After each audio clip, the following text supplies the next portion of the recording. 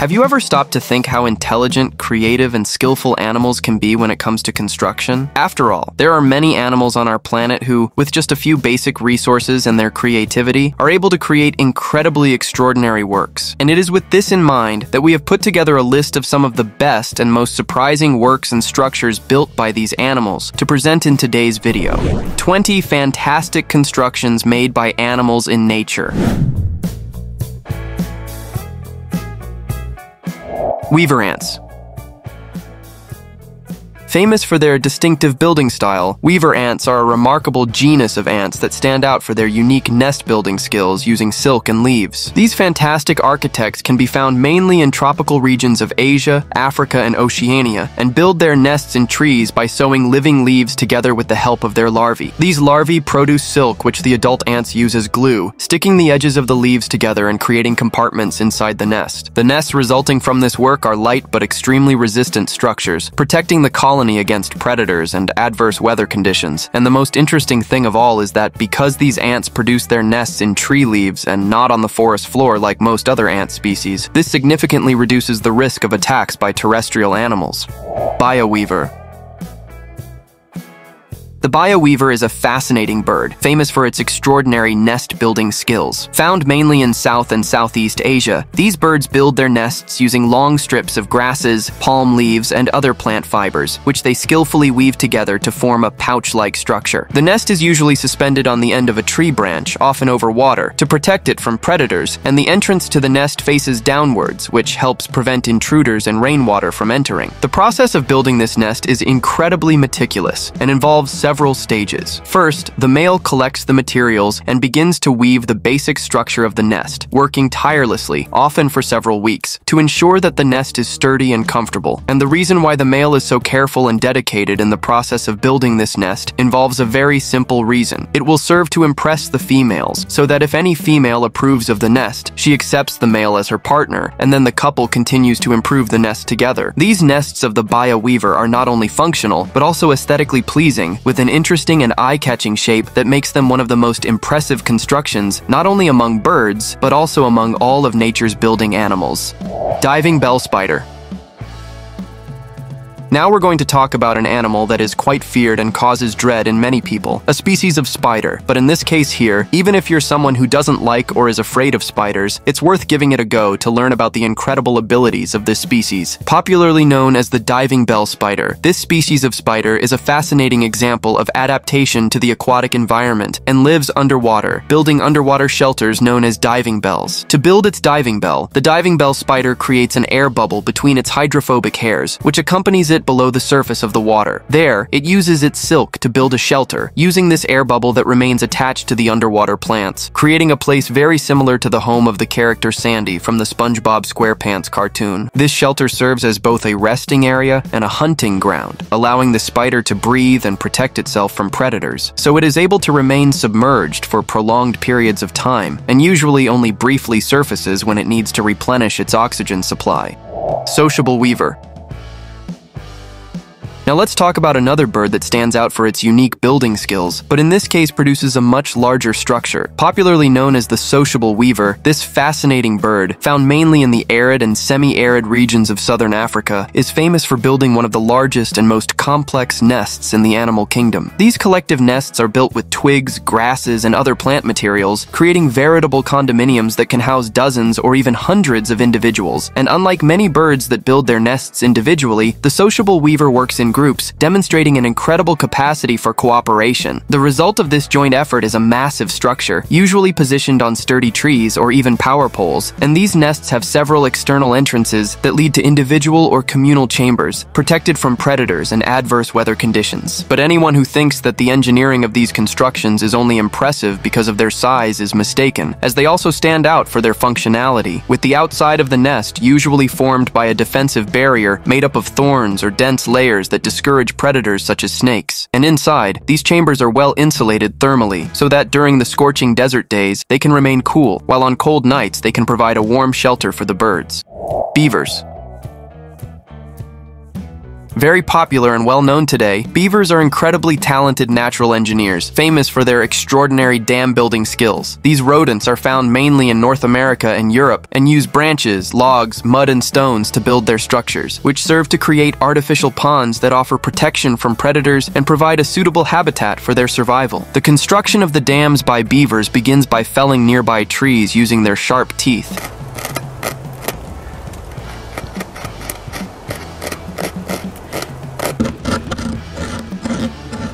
They then drag the trunks and branches to the desired location and start piling them up, filling in the gaps with mud and stones to create a solid barrier, which prevents the water from passing through, thus raising its level and creating a stable pond where they build their burrows. These beaver burrows are equally impressive and serve as a safe haven for the colonies, offering protection from predators and adverse weather conditions, where the beavers sleep and care for their young. And if nowadays beavers are seen as animals that symbolize construction and the carrying out of great works, it's not for nothing. After after all, in some cases, these animals can raise the level of their projects and create structures so large and majestic that they are even capable of significantly influencing and transforming entire ecosystems, often positively, and resulting in the formation of unique landscapes and ecosystems, but in many cases also generating problems and negative impacts, which means that these structures end up needing to be removed, most of the time manually, but in many cases also with the use of machines such as excavators due to their large size.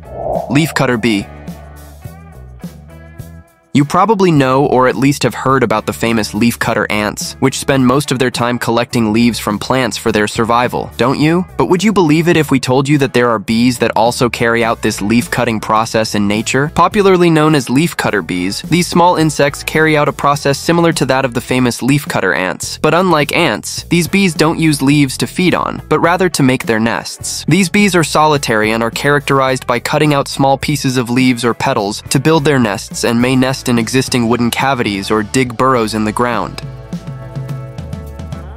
Once they have chosen the hole that will serve as the nest site, these bees cover it with these pieces of leaves that they have cut out. Each of these individual chambers will house an egg and a mixture of pollen and nectar that will serve as food for the larvae as they develop. And after all this, the leafcutter bees then close the entrance to these places, guaranteeing the safety and protection of the larvae during their initial stage of development. Just fantastic, isn't it? European honeybee. And if the bees we've just shown you are an example of how incredible and fascinating the works and constructions made by insects in nature can be, it's no different with honeybees. Perhaps many people don't find the work these animals do interesting, because they are used to seeing their image around quite often. But we still have to admit that the structures made by these small insects are truly amazing. Most likely, the most famous species that comes to mind when talking about honeybees is the European honeybee, and just like other species, they build structures that serve as their home, called hives. These hives are made made up of perfectly hexagonal wax combs, which serve as nurseries for the larvae, honey, and pollen stores, and circulation spaces for the colony. The hexagonal shape of the cells is not only beautiful, but also incredibly functional, as this geometry maximizes the use of space and wax, allowing the bees to store as much food as possible with the minimum amount of material and space required. This efficient design, the result of millions of years of evolution, is so perfect that even engineers are studying its structure to optimize materials. Indian harvester ants. Found mainly in arid and semi-arid regions of Asia, Indian harvester ants are known for their great capacity for organization and division of labor, and can be considered true specialists in collecting and storing seeds, contributing to the local ecology. These ants build underground nests with several chambers that are used to store seeds, care for the larvae and house the queen, and the architecture of these nests is quite impressive, with the entrance having a very curious appearance when viewed from above, very reminiscent of a labyrinth with concentric walls that prevent rainwater from entering the nest, and and it is also believed that the entrance made in this way has a protective function against predators, making it difficult for them to enter the anthill. Caddisflies. Now let's talk about insects again, and in this case they build real works of art that are used for their protection. We're talking about the larvae of caddisflies, tiny insects that in most cases are only 25 millimeters long, making them probably the smallest artisans in the world. These aquatic insects secrete a sticky silk from their mouths and use it to build a hard shell from materials available in their habitat, including leaves, stones, shells, and sticks, creating a kind of armor that protects them from predators. Knowing this information, a French artist called Hubert Duprat had the ingenious idea of taking some of these larvae and putting them in a box containing small pieces of gold, rubies, diamonds, turquoise, and other precious stones. And the result was these fascinating works of art created by these animals with a curiously good aesthetic taste. Really incredible, isn't it? Common tailor bird. Now let's talk about a bird with the ability to sew. That's right, you didn't hear wrong. We're talking about the common tailor bird, a bird well known throughout the world for its fantastic and unique ability to sew its nest. This process begins with the female of the species choosing the ideal location and the right leaves to use for sewing. After that, it begins its sewing process, using plant fibers or spider webs as thread to join the edges of the leaves and its beak as a needle to pierce the leaves and cross the lines between them. Once the sewing is done, they fill the inside of the the nest with feathers and plant material to prepare it for laying the eggs, which are incubated by both parents. Trapdoor spiders. Yeah, apparently spiders don't lag behind birds, ants, or bees when it comes to building, because now it's time to talk about the spiders popularly known as trapdoor spiders, which make very interesting and ingenious constructions in the ground. They dig a vertical gallery about 20 to 30 centimeters deep and line the walls with silk, then weave a circular lid with silk and leaves, which fits perfectly into the gallery opening. This construction made by the trapdoor spiders serves as a trap so that they can capture their prey, and so they remain hidden inside this burrow, waiting for some insect or other small animal animal to step on the silk threads that are spread around the lid, and when this happens, they feel the vibration and quickly come out to attack. It's certainly an ingenious and fantastic hunting method, right? Compass termite the compass termite is a species of termite endemic to Australia that stands out for its impressive constructions. These termites are capable of erecting vertical slab-shaped nests, which can reach up to 4 meters in height and are oriented in a north-south direction, as if they were compasses guided by the Earth's magnetic field, hence the inspiration for the name compass termite. This shape and orientation allows for efficient thermal regulation. During the hottest hours of the day, only a thin side of the nest is exposed to the intense sun, reducing internal overheating and ensuring habitable conditions conditions for the colony, while at night and in the early hours of the morning, when the outside temperature is milder, the termites can move around more freely inside the nest without suffering from excessive heat. This is very curious and raises a number of questions, among them, how do these termites know which way to build? In fact, there is evidence that somehow the Earth's magnetic field does guide the termites in building their nest, but how they perceive this magnetic field is still a mystery. Rufous hornero, We've already talked about birds that build very beautiful nests and others that build very large nests, and now we're going to talk about a bird that stands out for building a very sturdy nest, the Rufous hornero. This bird, which can be found in various regions of South America, is famous for building sturdy, well-structured nests using mud, and the structure of the nest they build consists of a solid base and thick walls made using a mixture of mud with plant fibers, grass, hairs, and other additional materials that help give the nest greater strength. This fantastic nest can take several weeks to complete, and during this time, the couple work tirelessly, transporting small amounts of mud and shaping them with their beaks and feet, the result of which is a durable and very resistant nest that can withstand even harsh climates such as rain and strong winds and still remain intact. Wasps and if bees, as we've already shown, can be defined as truly skilled architects, we couldn't fail to mention wasps as well, which, despite often being considered the evil relatives of bees, are not left behind when it comes to building, being known for their complex social organization and impressive nest construction. Wasp nests can vary significantly in size, shape, and location, depending on the species, with some species building modest nests with just a few dozen individuals, while others can form gigantic colonies, containing thousands of wasps in structures that reach more than a meter in diameter diameter.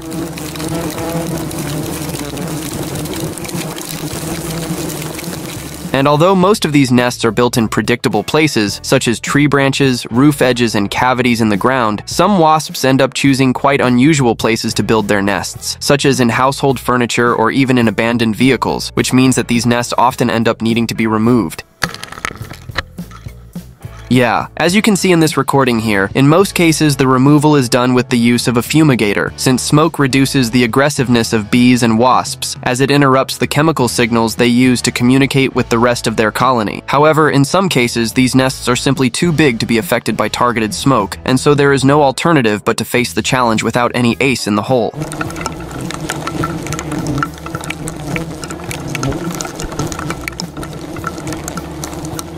Scary, isn't it? These wasps are attacking with such force that you can just hear them banging furiously against the camera. I don't know about you, but I think I've just unlocked a new kind of fear here to add to my collection. Ants Raft. It has certainly been proven that ants are some of the best builders in the entire animal kingdom. No one can disagree with that. But have you ever stopped to think about how these insects survive in flood situations? Well, the solution lies in ant rafts, simply one of the most impressive and ingenious adaptations in the entire animal kingdom. During periods of heavy rain and flooding, some species of ants, such as fire ants, join their bodies together using their mandibles and legs to create a floating platform that can include thousands of individuals, known as ant rafts. By intertwining their paws and mandibles, they form a kind of net that prevents them from sinking, functioning almost like a boat that repels water. And if individually ants already have a reasonable hydrophobic capacity, repelling water and often being able to float, this capacity becomes even greater when they join together, thus allowing this raft to float. The queen ants, larvae and pupae are usually kept in the center of the raft, where they are more protected from water and predators, while the worker ants form the base of the structure, supporting the weight and maintaining balance, usually alternating their positions over time, ensuring ensuring that none are tired or submerged for long periods. Bald eagle,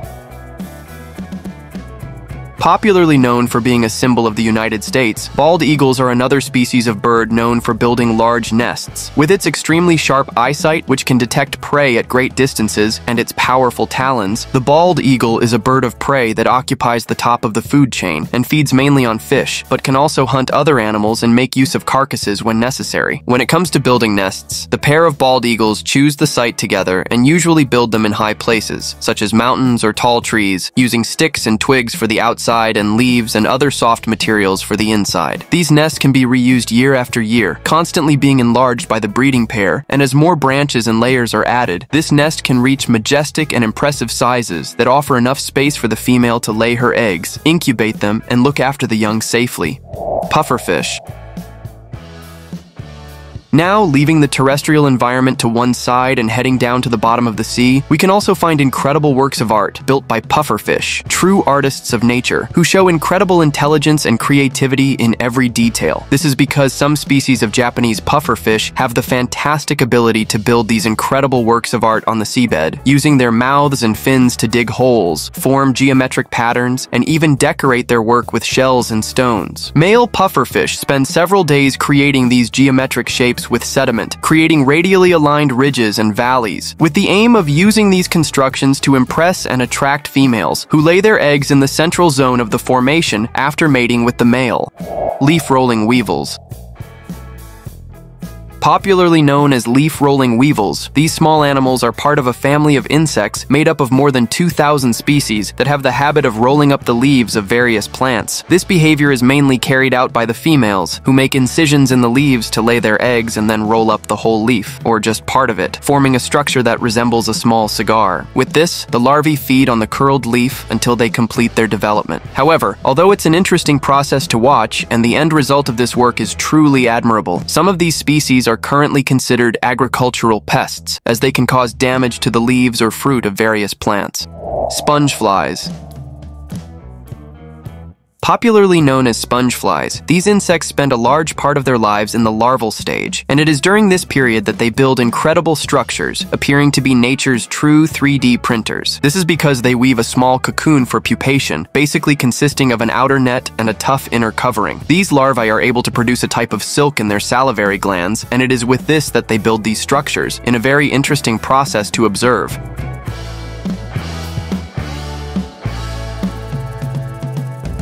Cape Penduline tit. And finally, we're going to talk about the Cape Penduline tit, a species of African bird that has a very interesting strategy for building its nest, the main purpose of which is to protect its eggs and chicks. These wise animals build a globular nest made of spider webs and silk fibers from various plants, and this nest has two strategic openings. In this way, the nests of these birds have a real opening, hidden for the entrance of the parent birds, and another false opening that looks like the real opening, but actually leads snakes and other predators into a blind chamber. But what do you think? Think? What was the most surprising and fantastic animal construction on this list? Let us know in the comments which one impressed you the most, and if you liked the video, subscribe to the channel so you don't miss out on the next videos we'll be bringing here. Well, that's all for today, thanks for watching and see you next time.